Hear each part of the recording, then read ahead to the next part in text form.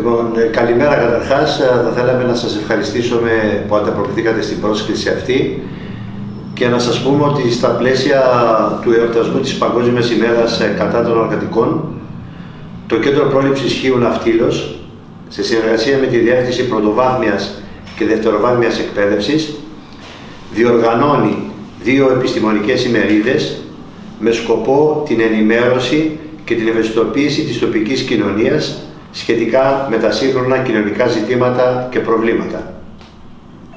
Συγκεκριμένα, τη Δευτέρα 26 Ιουνίου στις 10 η ώρα το πρωί στο αμφιθέατρο του Τρίτου Γυμνασίου θα διεξαχθεί η μερίδα και λέω το Τρίτο Γυμνάσιο βρίσκεται στη στεγά, ε, πάλι είναι δίπλα στο πρώτο, το αρένο, το παλαιό γυμνάσιο και η ημερίδα θα έχει θέμα εκπαιδευτικός στην εποχή της κρίσης και το φαινόμενο της επαγγελματικής εξουθένωσης. Η ημερίδα απευθύνεται κύρια σε εκπαιδευτικούς, αλλά μπορεί να το παρακολουθήσει και όποιος άλλος πολίτης της Χίου ε, θέλει να το παρακολουθήσει και έχει ενδιαφέρον.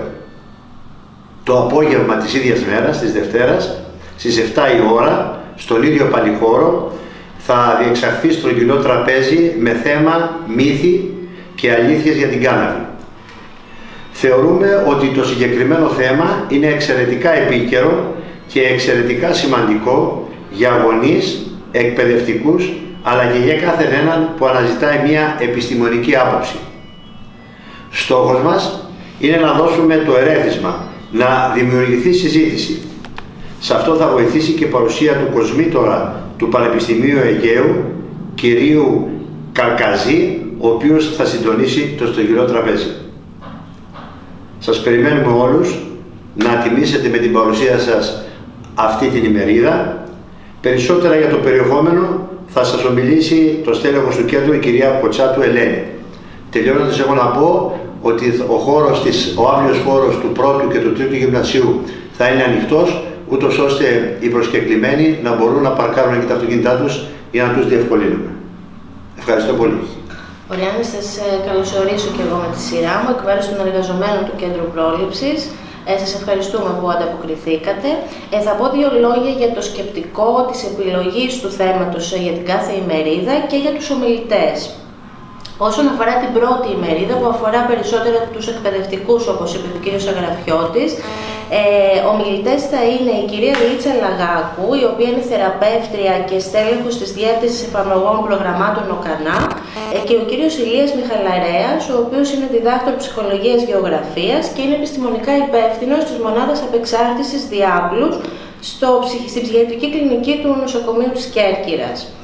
Ε, επιλέξαμε το συγκεκριμένο θέμα ακριβώς γιατί παρατηρούμε ότι παρόλο που όλοι συμφωνούμε ότι στις μέρες μας το σχολείο έχει να επιτελέσει ένα πάρα πολύ σημαντικό ρόλο ε, κοινωνικοποιητικό που επιτελούσε πάντα ε, όσον αφορά στα παιδιά, αλλά και υποστηρικτικό ε, αυτή τη στιγμή, μια και περνάμε ε, συνθήκες κοινωνικο-οικονομικής ε, κρίσης, ε, παρατηρείται ένα φαινόμενο από τη μία ο εκπαιδευτικός να επιβαρύνεται με περισσότερες ε, αρμοδιότητες και καθήκοντα, να δυσκολεύουν δηλαδή τα δεδομένα μέσα στο χώρο εργασίας του, από τη μία, Απ' την άλλη, να καλείται ο ίδιος να αντιμετωπίσει σε καθημερινή βάση τις διάφορες κοινωνικές δυσλειτουργίες που παρουσιάζονται μέσα στο σχολείο, τα διάφορα δηλαδή προβλήματα που κουβαλάνε οι μαθητές από τις οικογένειές τους, κάτι που ενδεχομένως δεν ίσχυε μέχρι τώρα,